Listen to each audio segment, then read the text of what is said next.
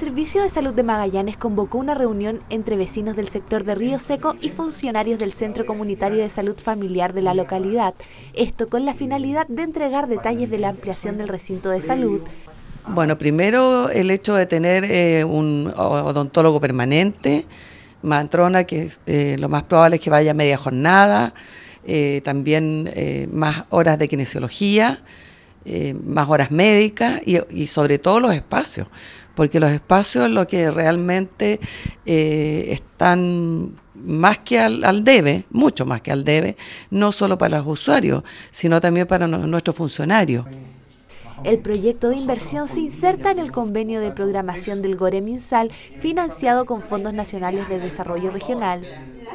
Es importante que este es un centro que depende directamente desde la municipalidad. ¿ah? Nosotros estamos mandatados solo para el tema de eh, diseñar y después construirlo.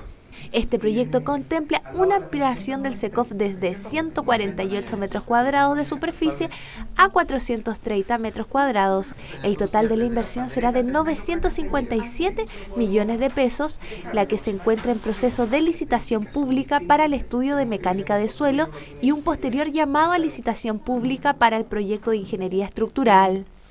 Esto es Vox Kine